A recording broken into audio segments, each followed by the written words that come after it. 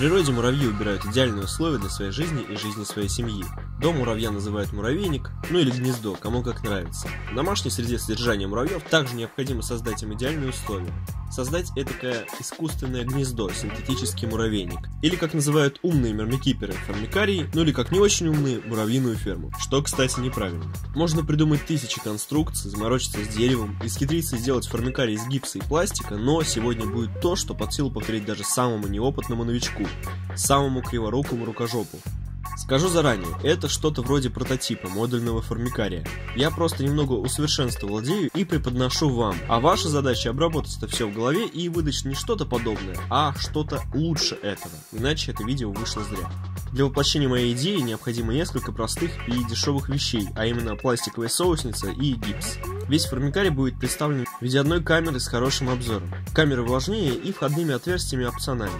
Суть задумки создать модульный формикарий из соусниц, в котором каждой соуснице можно приделать еще несколько соусниц, расширив пространство по типу сотовой конструкции, в которой каждая камера может быть открыта, заменена, отсоединена от общей конструкции и так далее. В теории такой формикарий будет подходить почти для всех видов муравьев, вплоть до капризных панерин, которым нужно чуть ли не читать сказки перед сном. Также из плюсов конструкции можно отметить возможность создания градиента влажности в гнезде, что подойдет для жнецов, да и вообще для любых муравьев, так как муравьи сами любят выбирать комфортные для себя условия. Замешиваем гипс. Кстати, алибастер это и есть гипс, просто другое название. Не стоит бояться его использовать. Более подробно можно прочитать в статье про гипс в сообществе ВК. Ссылка будет. Готовим раствор. 2 к 1 по весу. Сначала отмеряем воду, растворяем пигмент, добавляем гипс, помешивая жидкость. Не надо пытаться ждать чего-то. Замешиваем и сразу же заливаем.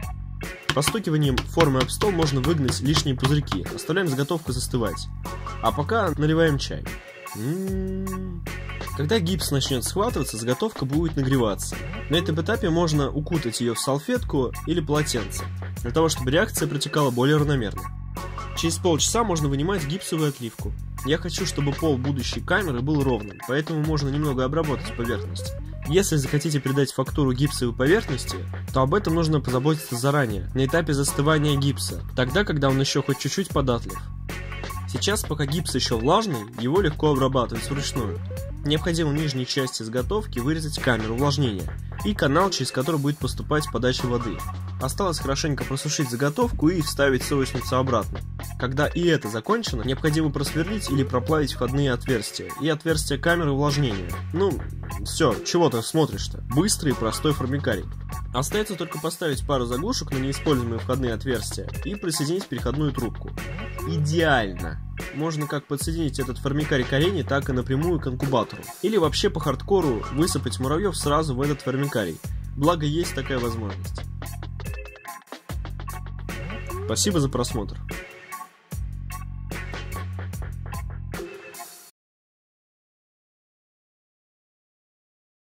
Остается только поставить пару заглушек, рыгнуть и смонтировать данную хуйню.